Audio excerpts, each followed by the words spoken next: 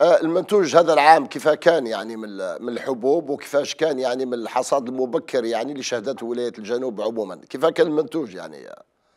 إحنا اللي خلانا اليوم كما نقول ناخذ هذا اللقاء اليوم بناء على معطيات نعم. بناء على الفلاحين لأن منطقه اليوم حتى لو كانت فلاحه ولكن متوسطة أو تقريبا محدودة اليوم نحن نرتقي إلى مستوى آخر ولكن نعم. أعطت نتائج كما قال نتائج فاقت كل التوقعات. دابا نشوف اليوم بالنسبة للحبوب في القنطار الواحد متجاوز 70 قنطار في الهكتار في الولاية ما شاء الله ما شاء الله.